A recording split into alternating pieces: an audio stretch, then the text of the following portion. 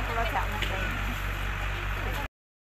Ako yun, takay mo nga, ako ba?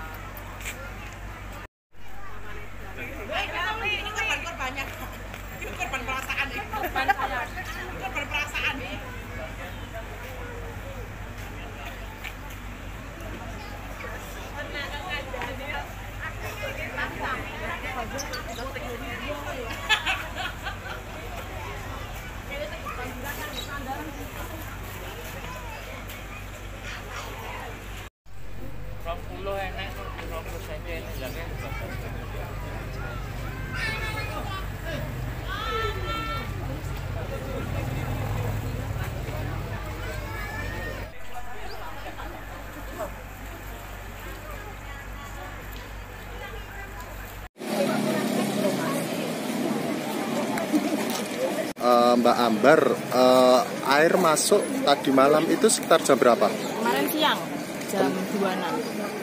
Jam 2 sudah mulai masuk Iya. ya? Nah, itu sendiri ketinggian air mencapai berapa kemarin? Cepet banget Pak Mas, jadi dari langsung sub gitu jadi Kemungkinan satu setengah ya, setengah. Mbak? Satu setengah. Kemungkinan satu setengah. Satu setengah. Ini sudah surut atau pripun? Ini termasuk Sudah surut. surut. Kalau untuk ini sendiri bantuan dari pemerintah maupun dari pihak terkait terus pundi? Banyak dari Kemensos kemarin ngasih kasur busa, perkakas satu sama selimut. Tadi ada bantal, makanan gitu, ada cukup bilang baju, celana dalam, pampers, komplit Pak. Untuk sementara jenengan tinggal di mana, Mbak? Ini pengungsian gitu. Pengungsian Iya. rumah warga gitu. Iya. Kondisi semacam ini sudah berapa kali, Mbak? Kalau setiap kali hujan tiap tahunnya? Kalau saya di sini baru dua kali. Yang paling parah ini. Yang parah Paling ini. parah ini. Bandingkan tahun kapan? Tahun yang lama biasa? ya, Mbak ya? Di tahun kemarin tapi bulan apa ya? Ya, sama lah. Iya.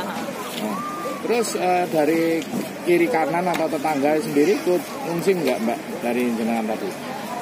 Maksudnya yang kena banjir, Pak? Ya Satu semua. RT fungsi semua. Iya, oh.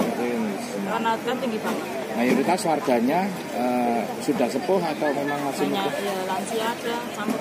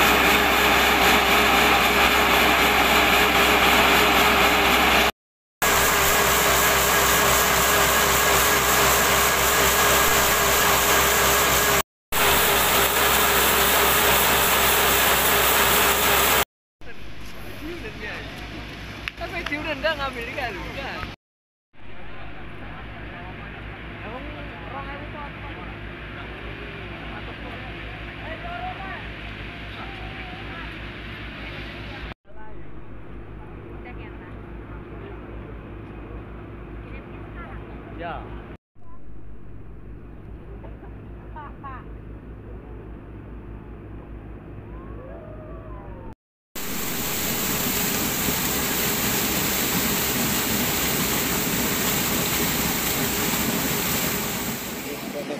terkait penyelamatan ya dekat Universitas TNI, Polri, BPBD dan semua rekan-rekan termasuk juga dari rekan-rekan wartawan. Dari lihat dari kondisi tadi yang terakhir di jagalan gimana dan apakah sudah mengalami penyurutan atau memang justru cenderung akan naik? Sementara memang kalau kita lihat sudah mengalami penyusutan ya. ya mudah-mudahan hari ini tidak hujan lah. Tapi informasi terakhir dari Wonogiri sudah dibuka dua lagi. Ya. Dua pintu tapi dengan kesiapan kita mudah-mudahan nanti Pak ya. Siap, siap. Ilmu siapa ya? Siap. siap. Apalagi? Dari melihat dari pompa air kemudian tempat-tempat pengungsian apakah sudah cukup layak atau bagaimana? Mungkin masih ada beberapa penambahan di beberapa tempat ya karena memang uh, sampai tadi malam sampai hari ini pun juga masih ada genangan yang ada di desa Gang Sawit. Mungkin butuh butuh beberapa pompa lagi loh segera mungkin Biar air sudah cukup. Oke. Tapi mendengar eh, aduan mungkin dari masyarakat yang dengan konfirmasi beberapa Semuanya sudah tercukupi termasuk juga kesehatan.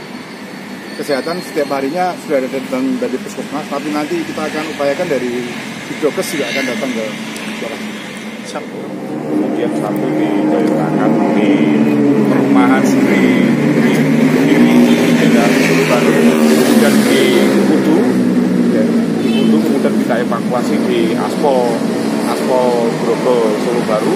Kemudian yang berikutnya di Desa Lawu.